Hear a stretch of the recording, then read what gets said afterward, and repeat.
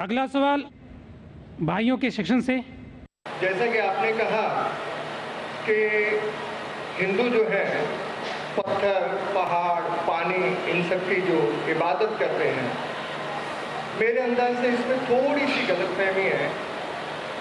आज साइंस भी ये मानती है कि जो सॉलिड मैटर है it is a form of energy और वो एनर्जी को हमने खुदा या मतलब इन सब चीज़ों के बीच में जो एनर्जी है, वही अल्लाह, ताला, खुदा, जिस नाम से भी हम पुकारा हम उस एनर्जी जिसने इन सबको पैदा किया, जो आपके बीच में से बोल रही है, जो मेरे बीच में से सुन रही है, जो मेरे अंदर से बोल रही है और इन सब के बीच में से सुन रही है, उसी को अल्लाह, ताला कहते हैं। वही बोल रहा है, वही सुन रहा है और उसी के कहने के मुताबिक हम यहाँ तक पहुँचते हैं। तो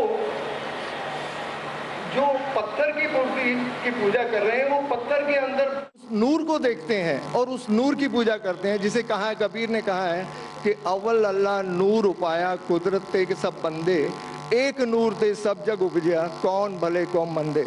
तो उस नूर को जिसने जहाँ देखा, जब एक हिंदू किसी को नमस्ते करता है तो वो इंसान को नहीं कर रहा। वो उसके अंदर बैठे हुए परमात्मा को देख के कहता है कि, नमस्ते, मैं तुम्हारे आगे झुकता हूँ। और वो जवाब में देता है कि, नमस्ते। जैसे हम इस्लाम में कहते हैं कि सलाम वालेकुम। हम सलामती चाहते हैं और आज जवाब देते हैं कि वालेकुम सलाम। तो मेरा इतना ही कहना था कि वो नूर जब हम सब में देखना चालू कर देंगे तो उसके बाद किसी भाईचारे की ज़रूरत नहीं रह जाएगी, क्योंकि पहले जो हिंदू की पूजा है, उसमें कहते हैं कि अंतरिक्षा है शांति ही, वनस्पता है शांति ही। सर्वे भवंतु सुखिना सर्वे संतु निरामया। मतलब अंतरिक्ष में तारे भी शांत हों, जंगलों में वनस्पतियाँ शांत हों, सभी लोग शांत हों, सभी लोग सुखी हों, ये प्रार्थना, ये एक हिंदू धर्म की बुनियाद है और हर धर्म की, इस्लाम की, हिंदू धर्म की, सिखिज्म की, सभी ने हर एक की भलाई और हर एक की शांति, हर एक के भाईचारे की बात की है। अगर इसमें कुछ आपको गैर वाजिब लगे तो मुझे नहीं नहीं, भाई साहब, अवतार सिंह। आपने बहुत अहम सवाल किया और एक बेहतरीन सवाल किया। और इस सवाल के ज़रिए कुछ लोगों के दिमाग में जो गलत फहमी, वो भी इंशाल्लाह दूर हो जाएँगी और आपके साथ जो गलत फहमी, वो भी इंशाल्लाह दूर हो जाएँगी। आपने बिल्कुल सही फरमाया कि हिंदू धर्म हिंदू धर्म ने हिंदुओं, हिंदू ये समझते हैं कि जब पत्थर को पूछते हैं तो एनर्जी, आपने साइंस के बारे में कहा एनर्जी एनर्जी आपके इसमें, एनर्जी मेरे इसमें, मैं एनर्जी के बारे में बिल्कुल मुझे कोई इख्तलाफ नहीं है एनर्जी है। लेकिन ये कहना कि ये एनर्जी अल्लाह है, ये एनर्जी खुदा है, ना कुरान में लिखा है, ना वेद में लिखा है। पॉइंट नंबर वन ये आपकी गलत फहमी है कि ये एनर्जी खुदा है। कुरान में लिखा है कि उसके जैसा कोई नहीं है। There is nothing like it वलम यकुल्लहु अहद। उसके जैसा कोई नहीं है। यही चीज़ बाइबल में लिखा है there nothing like unto it in the heaven in the earth beneath in the water beneath the earth भगवान के जैसा मुमकिन ही नहीं कोई भी चीज़ आसमान में हो, धरती पे हो, ज़मीन पे हो। ना कंकर, ना पत्थर, ना मूर्ति। वो ही लिखा है वेद में, न तस्य प्रतिमा अस्ति, उस भगवान का कोई अक्स नहीं, कोई पेंटिंग नहीं, कोई फोटोग्राफ नहीं, कोई मूर्ति नहीं। तो ये लिखा है धार्मिक किताबों में, लेकिन धर्म के मानने वाले अपनी आसानी के लिए तब्दील कर रहे हैं। मिसाल के तौर पे, मिसाल के तौर पे, आप सपोज़ बिजनेसमैन हैं, आप एक कंपनी के मालिक हैं, आप एक अपना पुराना उसूल किस तरीके से कंपनी चलना चाहिए, उसूल से चलते आ रही है। आपके कोई नई मैनेजर आते, उसूल को बदल देते आपके उसूल के खिलाफ काम करते। बोलते क्या, ये और बेहतर होगा इससे मुनाफा ज़्यादा होगा। आप के उसूल है कुछ। आपके उसूल होंगे क्या मैं ईमानदारी से काम करूँ। आपके मैनेजर के उसूल होंगे ईमानदारी को छोड़ो, पैसे ज़्यादा कमाने के। आपको जब पता चलेगा, आपका मैनेजर आपके उसूल को तोड़ रहा है, बोलेगा, मालिक, ज़्यादा पैसे मिलेंगे, रिश्वत दो। आप उससे सहमत है, आप बोलेंगे, ज़्यादा पैसे छोड़ो, मिलते क्या नहीं मिलते? रिश्वत देना हराम है। तो इस तरीके से अल्लाह ताला ने बुनियादी बातें कह चुकी है, किस तरीके से उस ईश्वर की इबादत करना। अभी इंसान अपनी गलत फहमियों में अल्लाह ताला खुदा ईश्वर की बात छोड़ के खुद के तरीके से इबादत करने लगते हैं। और हम क्या कर रहे उस अजीम खुदा को गाली देते हैं। हम कहते हैं कि खुदा ने बेटा जना। अस्तगफुल्ला हम खुदा को उस मूर्ति में ले आते। जब लिखा हुआ है श्वेता श्वेतर उपनिषद में, यजुर्वेद में नातस्य प्रतिमा अस्थि। उस ईश्वर की प्रतिमा नहीं है, हम मूर्ति बनाते हैं। मिसाल के तौर पे, अगर अगर मैं किसी को मदद करता हूँ, और अगर वो शख्स मुझे जानता नहीं, जाकिर कैसा दिखता है। मिसाल के तौर पे श्रीलंका में मैं एक स्टूडेंट को मदद करता हूँ, रोज़ दस हज़ार रुपये भेजता हूँ। उसको पता नहीं जाकिर के साथ क्या करता है। वो कॉकरोच बनाता है कॉकरोच। और रोज़ सुबह को बोलता है, जाकिर, शुक्रिया। जब मुझे पता चलेगा उसने मुझे कॉकरोच बनाया क्या मुझे खुशी होंगी? भले वो मुझे कुछ खाली दिल में कहता जाकिर, शुक्रिया। काफ़ी है। शुक्रिया नहीं भी कहता था, चल जाता था। लेकिन मुझे कॉकरोच बनाया। इंसान से कॉकरोच बनाया। मुझे फ़र्क पड़े ना पड़े, वो तो बेवकूफ़ बन रहे ना।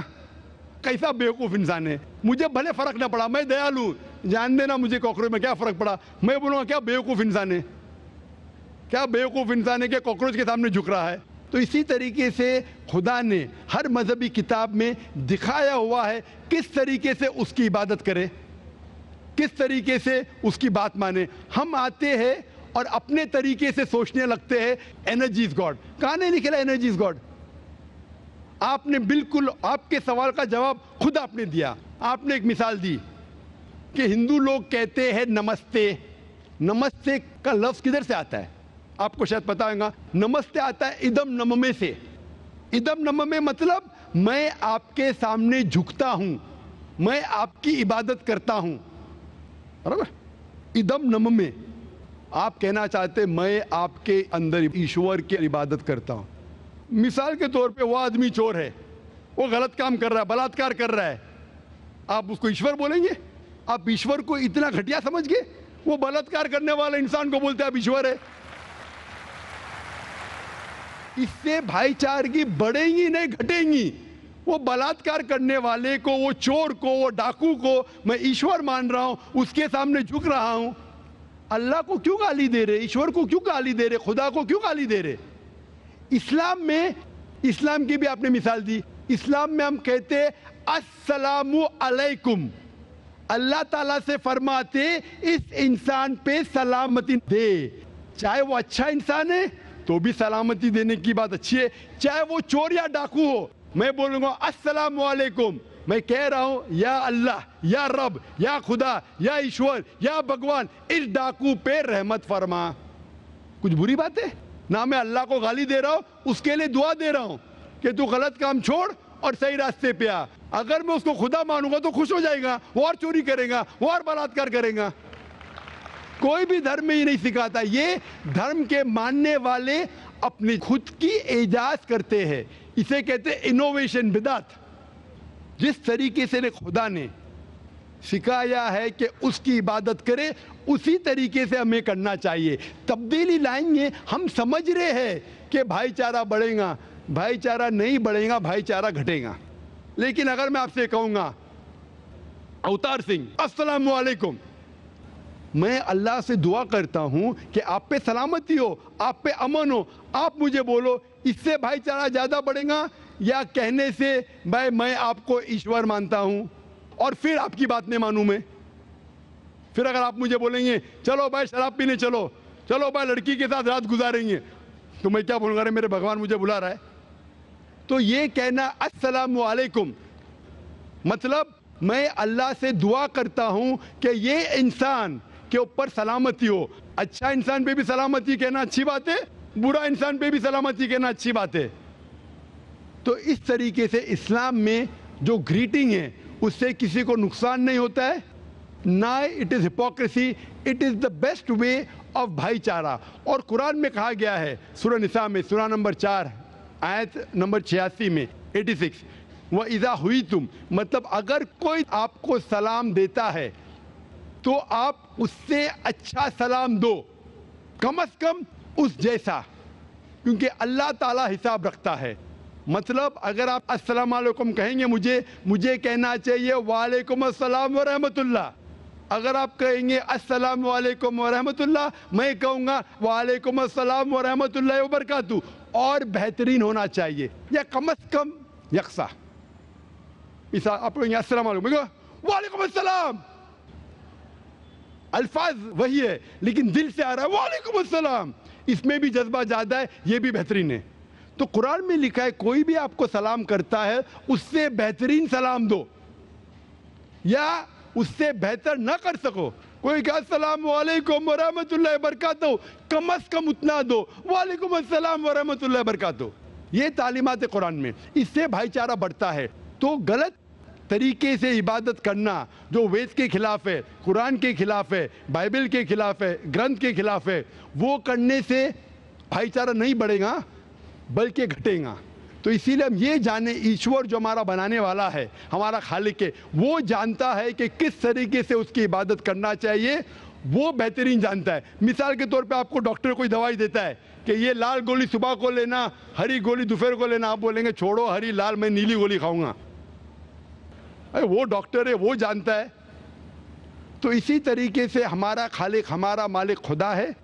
उसकी बात के ऊपर अमल करना। इसीलिए जो इंसान खुदा की बातों पे अमल करता है, उसे कहते हैं इस्लाम मतलब submit. He is called as a Muslim तो जो कोई अल्लाह के मुताबिक चलता है, उसे कहते हैं person who submits will to God hope the answer the question